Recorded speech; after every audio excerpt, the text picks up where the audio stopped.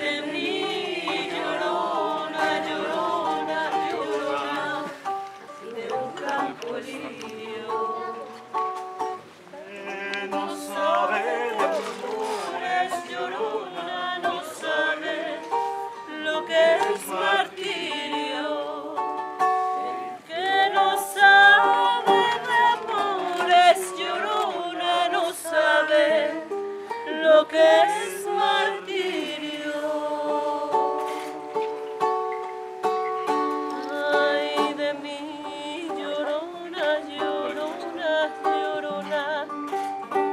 llévame al río.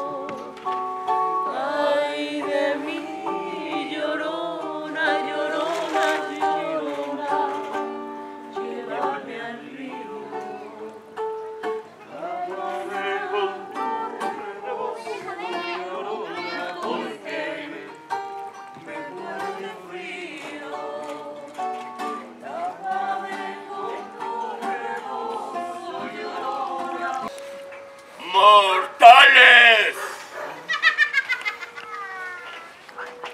Bienvenidos a esta tierra, en lo más profundo de la oscuridad de este lago.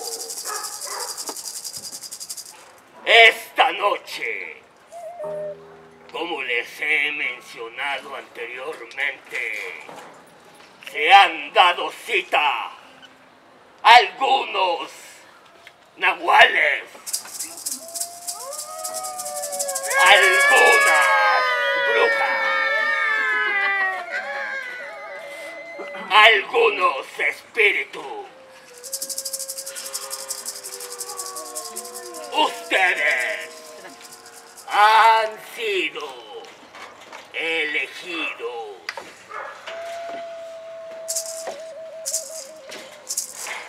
Mi nombre es Mictlantecutli.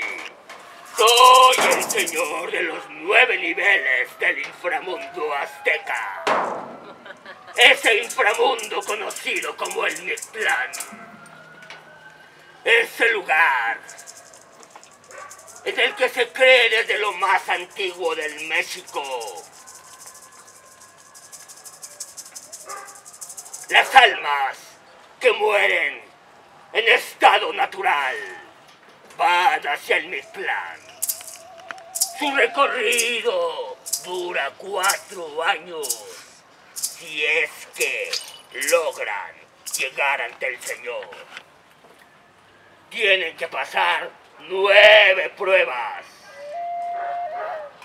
Se dice que en algunos casos, a medio camino, el alma se cansa y tiene que regresar al inicio por un refrigerio.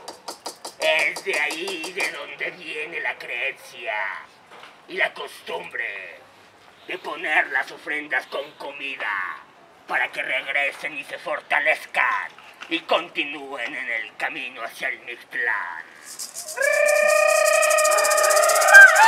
Algunas de estas pruebas en el primer plano es la tierra de los perros. Esos perros pelones. Esos perros muy antiguos que han sido el acompañante de todas, de muchas épocas. El solo escuincle. Él y solo él es el único ser que los podrá ayudar a cruzar ese río, ese lago, esas aguas que son la primer prueba.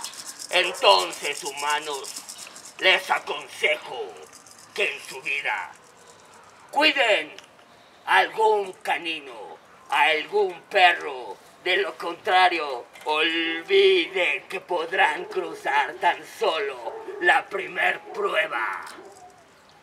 Montañas que chocan entre sí es una prueba que sigue. Tendrán que ser muy audaces para no ser aplastados entre esas rocas inmensas. Algunos vientos huracanados que cortan como cuchillas de obsidiana. Una más. Otra de las pruebas son los...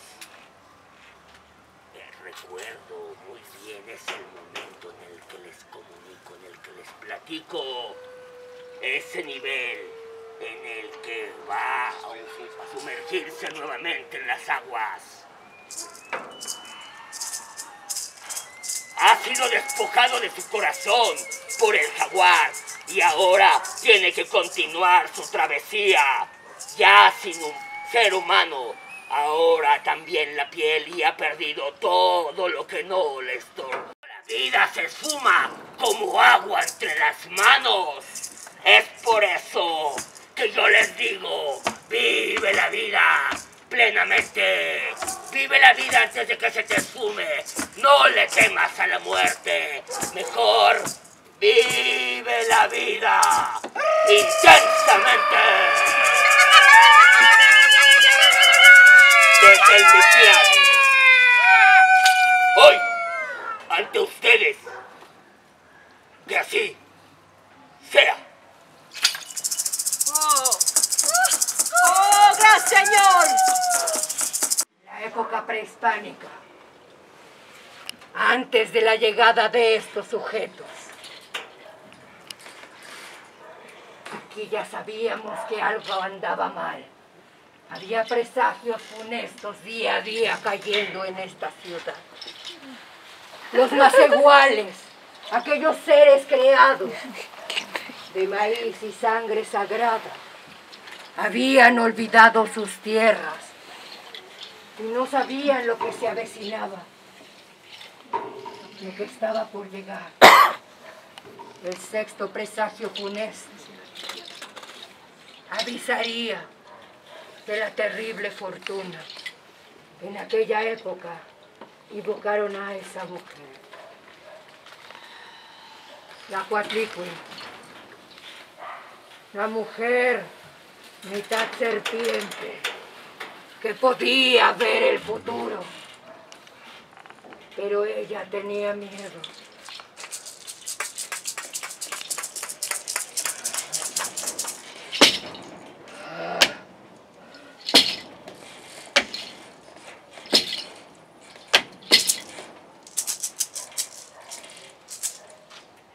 Habían invocado para decirles el destino de estos más iguales. Esta mujer venía decirles que los amaba en una parte de su corazón. Ellos eran una gran parte. Les amaba. ¿Cómo les podré decir? No sé cómo decirle. ¿Cómo le dices a alguien que está mal? ¿Cómo le avisas? ¿Cómo le dices lo que está por venir? ¿Cómo se lo dices? Se agarró de valor y decidió decirse. ¡Ay, mis hijos! ¡Ay, mis pobrecitos hijos! Esos que están por venir los van a matar. Matarán sus costumbres, sus tierras. Les harán creer que están errados. Les quitarán todo. Ustedes morirán. Seres deformes llegarán de tierras lejanas. Y sufrirán. Pasará algún tiempo para que se recuperen. Mis hijos. Mis pobres hijos. Aún se cuenta que esa mujer deambula por aquí. Las conquistas continúan y los tiempos cambian.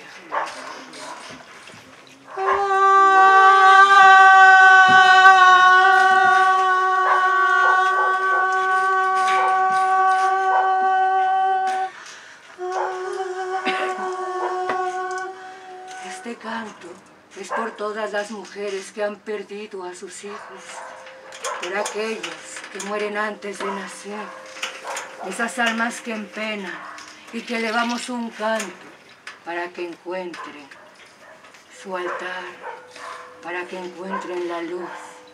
Únanse a este canto, a este, canto las canto.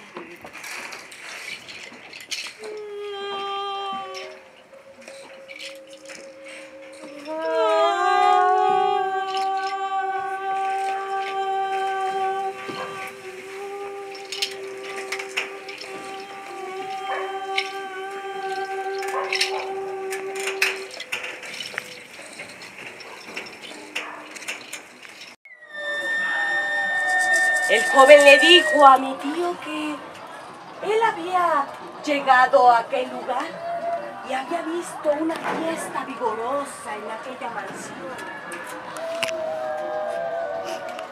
Pero la mujer que él llevaba comenzó a tomar un aspecto un tanto sombrío. De pronto mi tío comenzó a sentir un frío,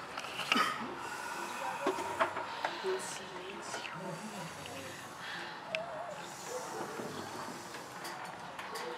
Estoy algo confundido, pues, como si esa belleza que ella irradiaba al subir a mi carro comenzara a desvanecerse lentamente.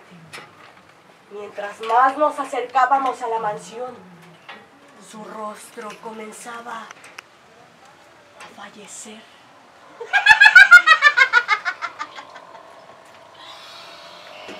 Él sacó de su bolsillo 500 pesos. Él, él era testigo de que el billete era verdadero. Pero cuando mi tío comenzó a escuchar la historia, comenzó a helársele la piel. De pronto ya no podía seguir cortando la carne. ¿Cómo dice usted, joven? Pero no puede ser.